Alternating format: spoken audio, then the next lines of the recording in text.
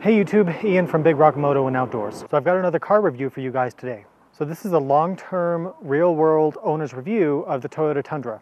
The model that I'm reviewing today is a 2011 model. I bought this truck new back in 2011. I owned it for four or five years and then since that point I sold it to my dad I think around 2015 or so and he's owned it until now. So it's been in my family this entire time since it was new. It has 90,000 miles on it and today I'm going to give you the full review of this truck. So here's how we're going to do this. I'm going to give you a brief overview of Toyota's history with full-size trucks. Then I'm going to talk about why I chose this over the competing trucks. We'll look at the exterior, talk about the things I like and don't like about it. We'll talk about the interior, the things I like and I don't like. We'll talk about livability, practicality, and functionality of the truck. We'll talk about some driving impressions. Then we'll go into the dislikes and some issues that we've had with it. And I'll end by with final thoughts and talking about would I buy this truck again. Toyota's history with pickup trucks in the United States actually goes back all the way to 1968. However, up until 1993, it was just small pickup trucks that Toyota had. In 1993, they introduced the Toyota T100. Toyota knew that America needed a larger truck, something larger than the small trucks that they had. While the T100 seems small by today's comparison, it was actually pretty sizable back then. They offered V6 engines. They didn't have a V8 engine, and that was one of the reasons why it never became too popular. They did offer an 8 foot long bed, which pleased contractors and workers. The T100 of that generation is pretty legendary for its overall reliability and durability.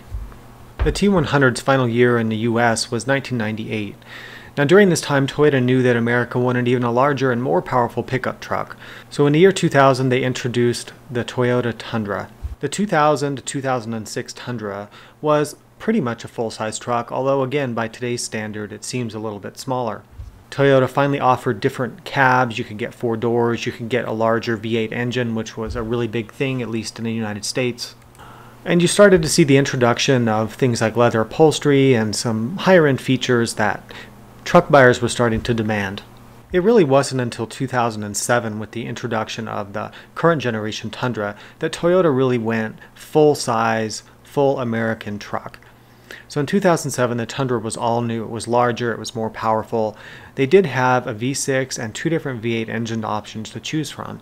You could get a standard cab, a double cab, or a crew cab. Toyota's marketing at the time really focused on the truck's durability, its toughness, and of course its towing and hauling ability, and how it compared really well to the American trucks of the time, which it really did. It was built very stout, it had very strong powertrains, and with Toyota's reputation for reliability, it was an immediate success. However, success in the full-size truck world is a relative term because they never took the market dominance that trucks like the F-150, Silverado and Sierra, and the Ram 1500 enjoyed. They did update the Tundra styling in 2014, made it edgier, made it more of a square style, and I think looked better than the 2007 to 2013 truck. However, the Tundra that you buy today in 2020 is really basically the same truck underneath as it was in 2007, and that's not a bad thing as we're going to find out. However, one theme that's going to keep coming through this video is how they really haven't kept up with their competitors in terms of refinement, luxury, features, ride quality, and other factors.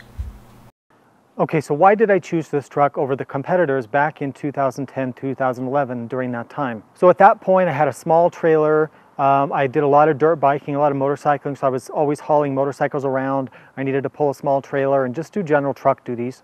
When I bought this truck, it was actually the first pickup truck that I'd ever owned. So at the time, I was very close to buying a Toyota Tacoma, but when I looked at the functionality, the features, and the hauling ability and just overall ability of the Tacoma versus this truck, considering they were almost the same price back then, and we'll explain that, I ended up getting this. Now, since I've had this truck, I've had mid-sized trucks. I've had the Chevy Colorado. Um, I've also owned other full-size trucks, so I'll link to my F-150 review right down below here. But I've also had a GMC Sierra. I've driven all the other trucks, including the newer GMC Sierras and Silverados. I've driven uh, the older generation Titans, the one that they made back when this was made. So I have a lot to compare it to. Some other reasons I got this, I mentioned the value of it. So I think this truck, I think I paid around $35,000 brand new for this truck back in 2011.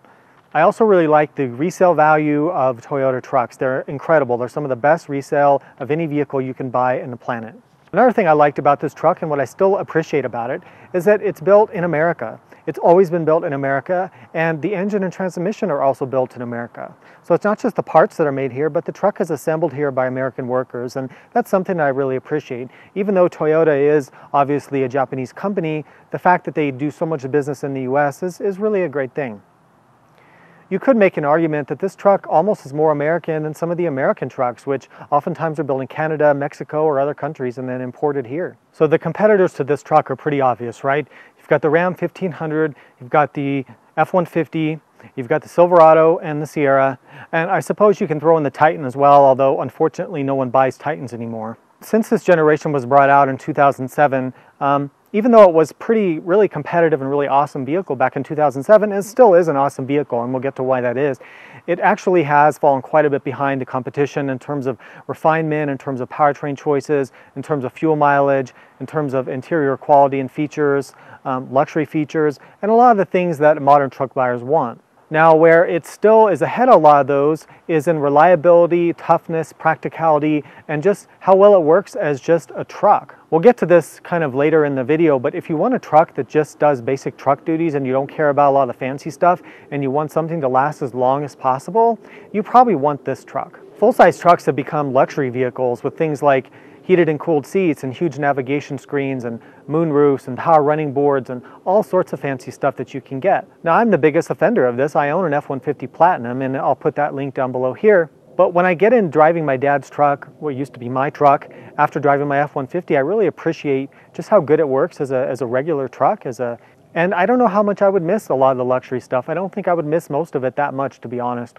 So let's talk about exterior styling for a minute. Now, as I've said in my other videos, exterior styling is completely subjective. It's about what your opinion is. I mean, obviously there are polarizing vehicles out there, some that most people agree look terrible and some that most people be, agree look really good, but then most vehicles kind of fall somewhere in the middle.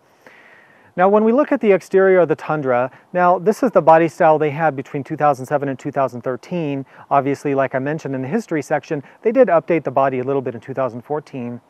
Uh, to my eye, these, these first generation of, of this version of Tundra is a little bit too rounded for me. The whole truck just looks a little bit bulbous and just a little bit too round on all the edges, but that's just my opinion. Your opinion may vary and that's fine. Some things I should mention about this particular truck. This was a package offered, I think, for only two or three years called the TRD Rock Warrior package. And basically it was kind of like an SR5 level kind of truck, um, a little bit lower than a TRD off-road uh, and it wasn't up to the level of like a limited or something like that. But what you got was the forged Toyota TRD 17 inch rims, uh, larger sidewall tires. You got different shocks, although the height of the truck was the same as the regular TRD. You also got blacked out fenders and some different styling cues. So it looks, uh, you didn't have any chrome, you didn't have any silver really. If you really have a keen eye and you know these trucks well, you'll notice that the rims look a little bit different than the factory rims. The only reason for that is that when I owned the truck, I took off the silver lining pieces on the outside. I'll put up a picture here. Um, but I unbolted those, they just come right off, and I think the truck looked a lot better without them. Let's jump into the interior impressions on the Tundra. Now, in terms of how this is held up, it's held up actually really, really well. There's a few tiny spots where the finish on some of the buttons is worn off. Um, you know, but overall, this, this interior has proven to be really durable over almost the past 10 years. And that's a good sign for the future because I know my dad plans to keep this truck for a very, very, very long time. Some things you'll notice about the Tundra interior is that they designed it uh, to use with gloves on. So you've got these huge climate control knobs, big four-wheel drive knob, the shifter handle is gigantic, and everything in this interior of this truck is just big, but it's also very functional. It's easy to clean. You always know where something is. And uh, the night being able to use things with winter gloves on is actually a really nice feature. This is in stark contrast to how the controls on my F-150 work. On my F-150, the buttons are so tiny that first of all, you're not going to use them with gloves, and second of all, there's so many darn buttons in that thing that if someone like my dad got in that, he'd be just way overwhelmed. So I guess what I'm saying is I appreciate the simplicity of design here. It's not luxurious, it's certainly not going to win any awards for luxury or features, but it's fine. Now, you have to remember, this was 2011 when this truck was sold. So you've got a CD player, there's no tape player, thankfully. Um, you've got the old school auxiliary input for this stereo. Of course, you know, if you own this truck, if I still own this truck, I'd probably change the head unit, put in a Bluetooth head unit. You've got basic things up here like a basic clock and temperature gauge, um, but really the instruments are very simple, the readouts are very easy to use, and you just really won't have any complaints. The truck has a lot of really good practical storage spaces. Uh, the center console is, is storage is huge with lots of different compartments in here. It's got two glove boxes, which I think is great. Um, really useful thing there. You've got a lot of cubbies, a lot of cup holders on the doors. Storage is uh, really good in this truck, and actually, I think it's better than my F, my new F-150 is. In terms of seating comfort, um, I did a lot of long trips with this truck out to play out to uh, Colorado, like thousand mile drives and things like that. I found the seats to be really quite comfortable in this truck. Now, I don't often get along with seats in Toyota vehicles, but these were pretty good. Um, they're probably not as good as the seats in my F-150 but they do have good lumbar adjustment. I, I, do think it's funny that the seats are all manual adjustment, which is actually kind of good because it's one less thing to break. Um, but the lumbar support is actually power, so I thought that was kind of interesting. But the lumbar support, I, I adjusted it on my drive up here to my house, and it's actually really, really good. Let's jump into the back seat. Okay, so now I'm in the back of the double cab Tacoma. Now the double cab is an extended cab in any other words, right? So what the nice thing about this layout of this truck is that you can get the six and a half foot bed, which is standard width, or you can actually get, you don't see too many of them, but you can get the double cab with a big full size eight foot bed, which is an awesome thing for many of you who are in construction or trades or just want the full size bed. Now in terms of legroom here in the back, it's actually really, really impressive for what you consider an extended cab truck. This is also another reason why the Tundra really convinced me back in 2011 um, to buy this. The legroom, the rear legroom in the double cab, and I've got this front seat pretty far back with plenty of room for the person in front of me. I've still got a couple inches in front of my knees and I'm 5 foot 11. The actual legroom is 34.7 inches in the back seat. Now I looked up the specs for the F-150 in the extended cab. Now granted you don't see many extended cab F-150s, but that's what you would need to compare this to. And that has about an inch and a half less legroom than this. So, you know, that's a noticeable amount more in the Tundra. So really good packaging. The Toyota got all this back room here with the extended cab, still putting a six and a half foot bed and still keeping the length of the truck uh, the same as the other trucks uh, in his class. Nothing else too crazy in here, back here in the back. You've got some cup holders to flip out. You've got a basic 12 volt power outlet and uh, nothing else because you know what? You don't need anything else. But I will show you the storage under the seat, which I like. Okay, so let me show you the storage back here.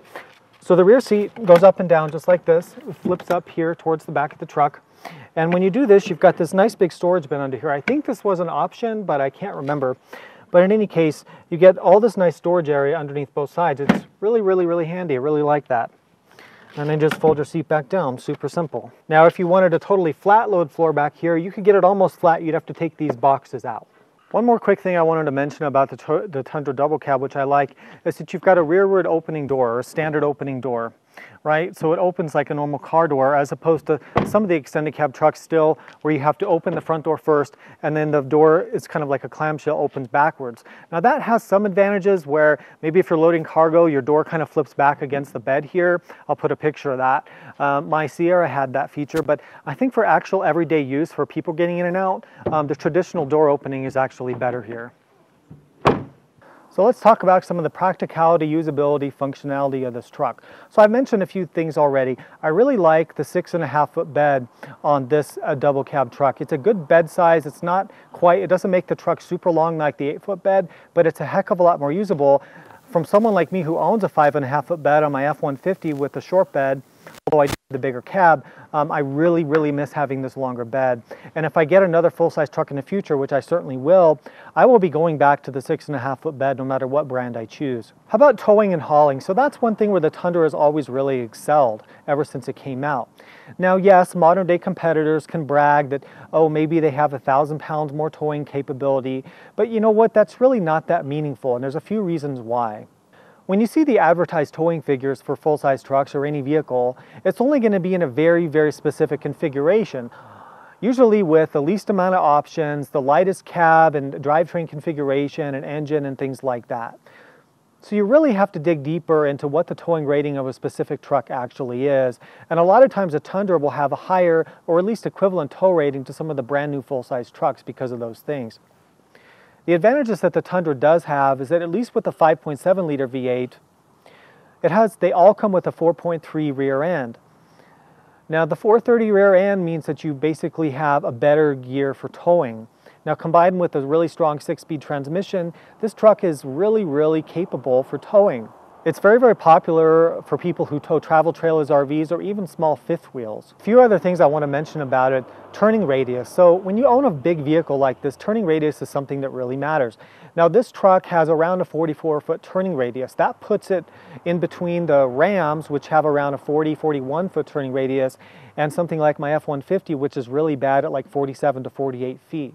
Now, when I drive my dad's truck here compared to my modern day F-150, I really notice that, especially if you've noticed I have a really tight circular driveway up here in the mountains. This thing, I can wheel this thing around so much easier than my F-150, and that's something I really miss about this truck. So they did a really good job engineering the suspension geometry to allow you to get that um, steering lock. In terms of living with this truck, doing the maintenance on it, uh, reliability, those kind of factors, I mean, it's a Toyota truck, so what do you expect? It's really easy to work on. Nothing ever breaks, hardly and it's just a super really it's just a really great ownership experience for the long term. So what are the driving impressions? How does this truck, truck drive? So i put about 40 or 50000 miles on this truck and my dad has put the other 40000 miles on it. Some of the things you're going to notice when you drive this truck is the engine in this truck is smooth but it's not as refined as modern day competition. So